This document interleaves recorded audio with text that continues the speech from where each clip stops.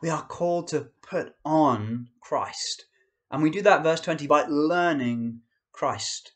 But we must never be satisfied only with knowing facts about Christ, that he is gentle and lowly, without seeking to become gentle and lowly, and to know that ministry of what he's like flowing through us to others.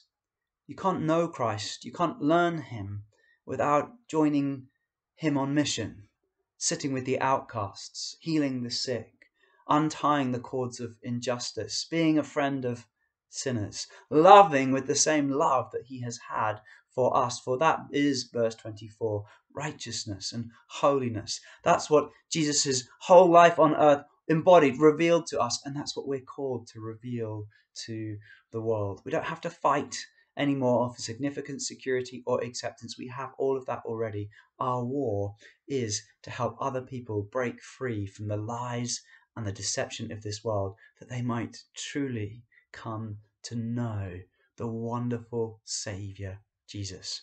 How could you get involved more in that today?